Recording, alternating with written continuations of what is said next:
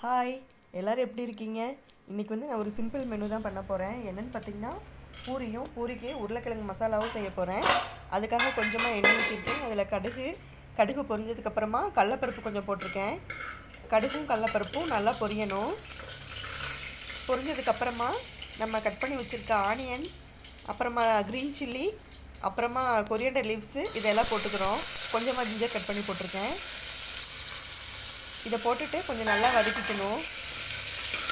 கொஞ்சம் ப்ரௌன் ஆகிற வரைக்கும் வதக்கிட்டால் போதும். இப்போ என்ன பண்ணலான்னா இதில் தேவையான அளவுக்கு சால்ட்டு கொஞ்சம் இதில் நம்ம ஆட் பண்ணிக்கலாம். நான் இப்போ வந்து ஒரு ஹாஃப் ஸ்பூன் தான் போடுறேன். பவுடர் சால்ட்டு தான் போட்டிருக்கேன். அதனால் அளவாக போட்டிருக்கேன். போட்டுட்டு நல்லா வதக்கி விட்டுக்கலாம். சேம் டைம் நான் என்ன பண்ணியிருக்கேன்னா இன்னொரு அடுப்பில் வந்து எண்ணெய் ஊற்றி வச்சுருக்கேன் பூரி போடுறதுக்காக. அதுக்குள்ளே அது காஞ்சி நம்ம வெங்காயம் வதங்குறதுக்குள்ளே நம்ம டைம் இருந்தால் பூரி கூட போட்டு எடுத்துக்கலாம். எண்ணெய் காஞ்சிச்சுன்னா ஸோ வதங்கிட்டுருக்கு. கொஞ்சம் டைம் ஆகும். நான் மீடியமில் தான் வச்சு வதக்கிட்டு இருக்கேன் வேகமாக வச்சா கொஞ்சம் தீஞ்சிரும். எண்ணெய் நான் நிறையா விடலை. அதனால் வந்து நான் கொஞ்சம் மீடியம் ஃப்ளேமில் வச்சு வதக்கிக்கிறேன். எங்கள் வீட்டில் வெங்காயமும் அவ்வளோவா யாரும் சாப்பிட மாட்டாங்க. அதனால நான் வெங்காயம் அதிகமாக சேர்த்தலை காரமும் நான் அளவாக தான் போட்டிருக்கேன். ஒரு மூணு சின்ன மிளகாயா ஒரு மூணு க்ரீன் சில்லி தான் போட்டிருக்கேன். நீங்கள் உங்கள் காரத்துக்கு தகுந்த மாதிரி மிளகா சேர்த்திக்கோங்க. இந்த ரெசிபி நல்லாயிருக்கும் நீங்கள் எல்லோரும் செஞ்சு பாருங்கள் எல்லாருக்குமே ரொம்ப பிடிச்சது. எங்கள் வீட்டில் அடிக்கடி இதை செய்வோம். எங்கள் குட்டீஸ்லாம் நல்லா விரும்பி சாப்பிடுவாங்க. நீங்களும் ட்ரை பண்ணி பாருங்கள் இப்போ எண்ணெயும் காஞ்சிட்ருக்கு. வெங்காயமும் கொஞ்சம் வதங்கிடுச்சு. ஸோ நான் என்ன பண்ண போகிறேன்னா இப்போ பூரி போட்டு எடுத்துக்கலாம். பாப்பா பசிக்குதுன்னு சொன்னாங்க. அதனால் சரி நான் உங்களுக்கு கொஞ்சம் பூரியும் போட்டு கொடுத்துர்லான்ட்டு சைடில் அந்த பூரியும் போட்டுட்ருக்கேன். அந்த பக்கம் வெங்காயமும் வதங்கிட்டுருக்கு பூரி நல்லா உப்பி வந்துடுச்சு. கொஞ்சம் ரொம்ப நான் ப்ரௌன் ஆக விட மாட்டேன். கொஞ்சம் லைட்டாக செவந்த செவந்து வர மாதிரி வந்ததுமே நான் எடுத்துருவேன் ஃப்ரெண்ட்ஸ்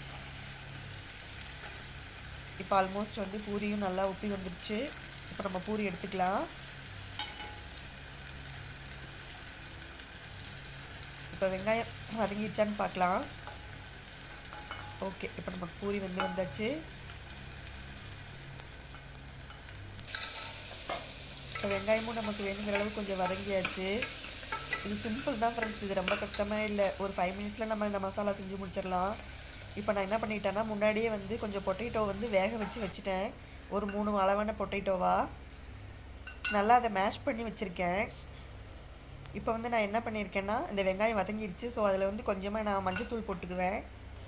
இதில் ஒரு சிலர் வந்து தக்காளி கூட ஆட் பண்ணி செய்வாங்க. நான் தக்காளி இதில் ஆட் பண்ணுறதில்ல தக்காளி போட்டால் ஒரு மாதிரி புளிச்ச மாதிரி இருக்கும். அதனால் எங்கள் வீட்டில் அது டேஸ்ட்டு பிடிக்கிறதில்ல. அதனால் நான் வந்து தக்காளி ஸ்கிப் பண்ணிட்டேன். நீங்கள் வேணால் ஆட் பண்ணிக்கோங்க. இப்போ வந்து இதில் என்ன பண்ணிக்கலாம்னா நம்ம வந்து ஒரு ஒன்றரை கப் அளவுக்கு தண்ணி ஊற்றிக்கலாம் உங்கள் அளவுக்கு நீங்கள் தண்ணியாக வேணும்னா இன்னும் கொஞ்சம் தண்ணி ஊற்றிக்கோங்க எனக்கு நிறைய தண்ணி மாதிரி வேண்டாம். கொஞ்சம் மீடியமாக இருந்தால் போதும். அதனால் நான் ஒன்றரை கப் அளவுக்கு மட்டும் தண்ணி ஊற்றிக்கிறேன் இப்போ ஒன்றும் இல்லை. இப்போ அந்த தண்ணி காஞ்சதுக்கப்புறம் தண்ணி கொஞ்சம் ஒரு கொதி விட்டதுக்கப்புறம் நம்ம உருளைக்கிழங்குங்க சேர்த்துக்கலாம். அவ்வளோதான் வேறு ஒன்றும் இல்லை.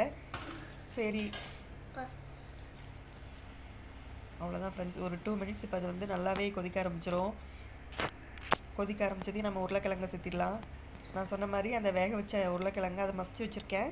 அதை இது கூட ஆட் பண்ணி ஒரு கொதி விட்டால் போதும். ரொம்ப நேரம்லாம் விட வேண்டியதில்லை.